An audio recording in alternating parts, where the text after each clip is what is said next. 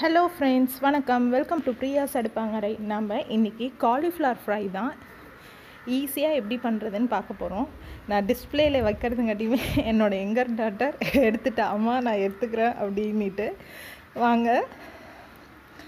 ஒரு பெரிய மிக்சிங் பவுலில் ஒரு ரெண்டு ஸ்பூன் அளவுக்கு இஞ்சி பூண்டு பேஸ்ட் சேர்த்துக்கலாம். நமக்கு இந்த ரெசிபியை இன்றைக்கி எங்கள் அத்தை தான் செஞ்சு காமிக்க போகிறாங்க மூணு ஸ்பூன் அரிசி மாவு சேர்த்துக்கலாம்.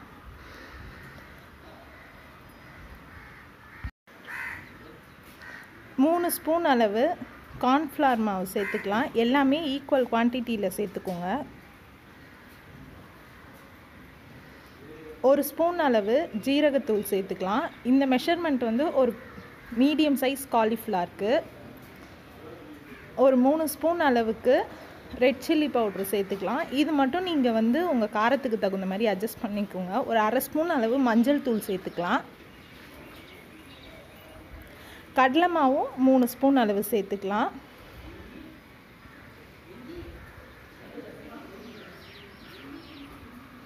உப்பு தேவையான அளவு சேர்த்துக்கோங்க இந்த ரெசிபிக்கு இப்போ இது எல்லாத்தையும் மிக்ஸ் பண்ணிக்கலாம்.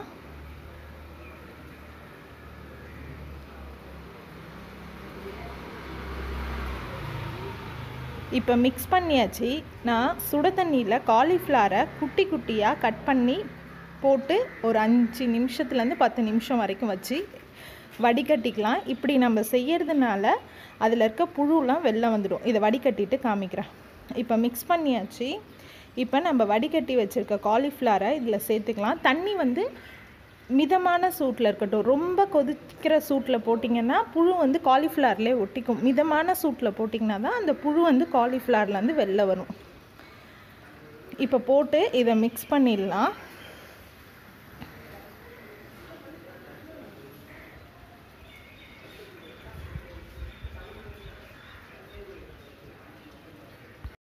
இதில் தண்ணி ஆட் பண்ணாதீங்க. தண்ணிக்கு பதில் தயிர் ஆட் பண்ணிக்கோங்க. ஒரு மூணு ஸ்பூன் அளவுக்கு தயிர் தேவைப்படும்.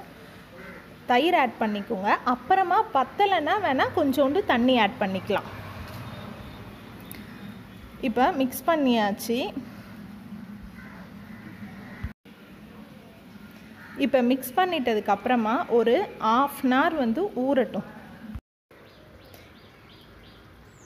இப்போ ஊற வச்சாச்சு ஊற வச்சு எடுத்தாச்சு. ஒரு கடாய் வச்சுக்கோங்க. கடாயில் எண்ணெய் ஊற்றிக்கோங்க எண்ணெய் காஞ்சதும் நம்ம மிக்ஸ் பண்ணி வச்சுருக்க காலிஃப்ளவரை சேர்த்துடலாம்.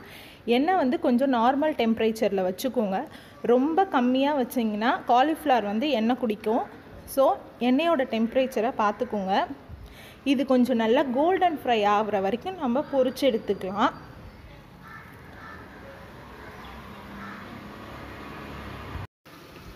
இப்போ கோல்டன் ப்ரௌன் ஆயாச்சு. இதை நம்ம டிஷ்யூவுக்கு மாற்றிடலாம் மாற்றிட்டு சர்வ் பண்ணக்குள்ளே பார்க்கலாம் நம்மளோட டேஸ்டியான காலிஃப்ளவர் ஃப்ரையை சர்வ் பண்ணியாச்சு. இந்த டேஸ்டியான ரெசிப்பியை மறக்காமல் உங்கள் வீட்டில் ட்ரை பண்ணி பாருங்கள் ட்ரை பண்ணி பார்த்துட்டு உங்கள் வேல்யூபிள் ஃபீட்பேக்ஸை மறக்காமல் கமெண்ட் செக்ஷனில் போஸ்ட் பண்ணுங்கள் உங்களுக்கு இந்த வீடியோ பிடிச்சிருந்ததுன்னா லைக் பண்ணுங்கள் உங்கள் ஃப்ரெண்ட்ஸுக்கும் ரிலேட்டிவ்ஸ்க்கும் ஷேர் பண்ணுங்கள் சேனலை மறக்காமல் சப்ஸ்கிரைப் பண்ணுங்கள் பாய்